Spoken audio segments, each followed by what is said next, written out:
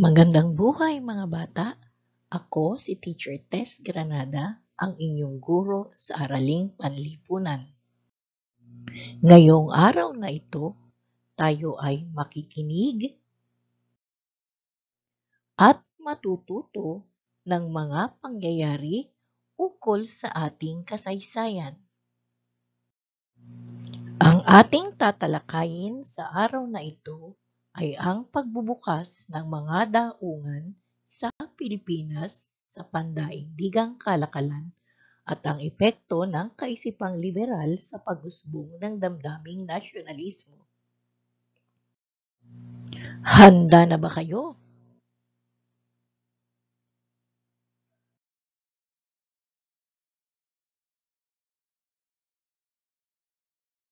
Nagsimula noong ikalabing walong siglo sa Europa, tinawag itong panahon ng kaliwanagan o Enlightenment period.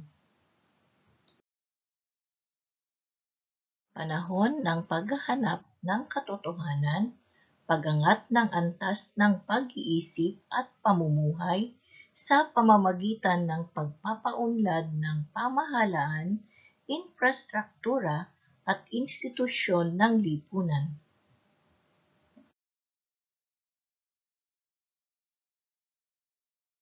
Pagbubukas ng Pilipinas sa pandaigdigang kalakalan Sa panahong kolonyal, ang kalakalang galyon lamang ang itinuturing na katanggap-tanggap na kalakalang panlabas ng Pilipinas.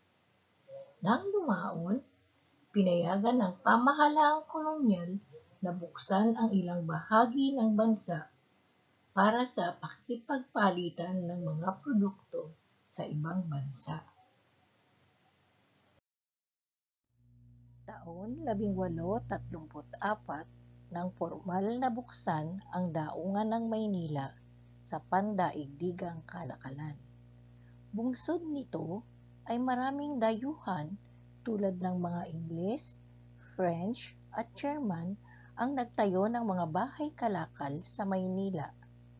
Maliban sa Maynila, binuksan din sa pandaigdigang kalakalan ang daungan ng Suwal noong taong 1882, Iloilo at Zamboanga taong 1885, Cebu noong 1860 at daungan ng Tacloban at Legazpi noong 1873. Ano-ano ang mga pagbabago sa buhay ng mga Pilipino dulot ng pagbubukas ng Pilipinas sa pandaigdigang kalakalan? Una rito ay nakilala ang Pilipinas bilang top-notcher ng ilang produkto gaya ng abaka, tabako,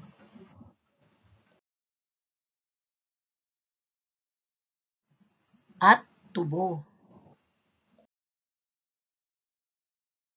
Pinabilis ang transportasyon para sa maayos na pagdadala ng mga produkto sa mga lugar ng bansa. Dumami ang bangkong nagpapautang sa mga negosyanteng Pilipino sa Maynila. Isa na rito ang Bangko Sentral ng Pilipinas.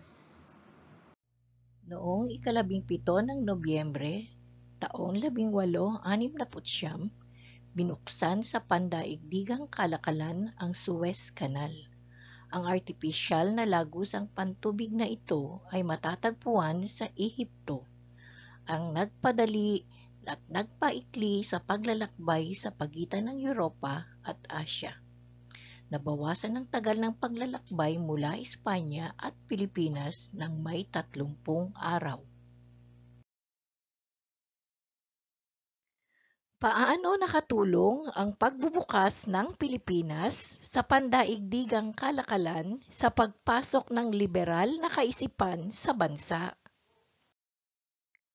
Naging mas mabilis ang transportasyon at komunikasyon sa pagitan ng Pilipinas at Espanya.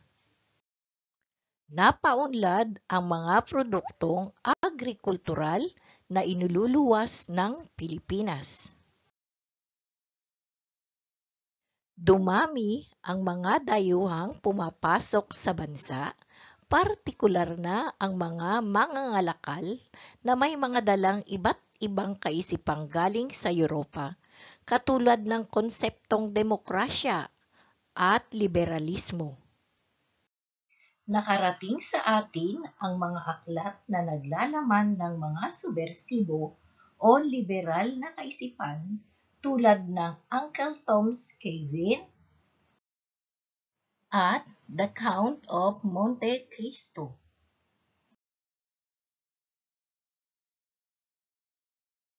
Nakarating din ang ilang mga balita kaugnay sa revolusyong nagpalaya sa Estados Unidos at France na naging inspirasyon ng marami.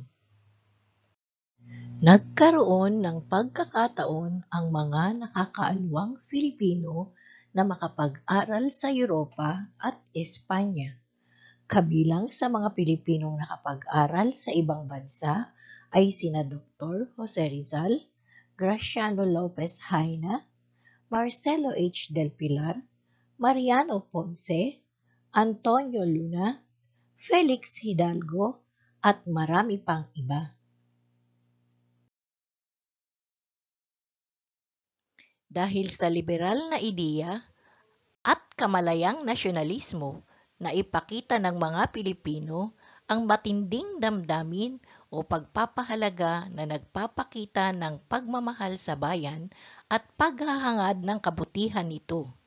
Ito ay nagpaunawa rin sa mga Pilipino na may mga pagbabagong maaaring makatulong sa kanilang pamumuhay na maaari nilang maging kapantay ang mga Espanyol sa hinaharap.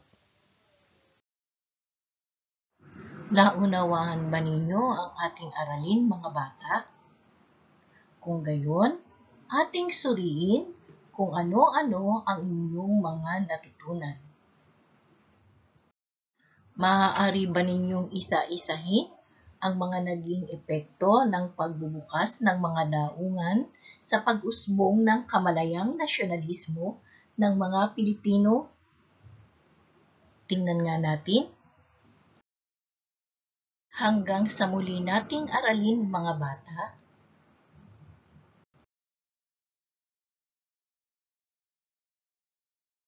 Maraming salamat!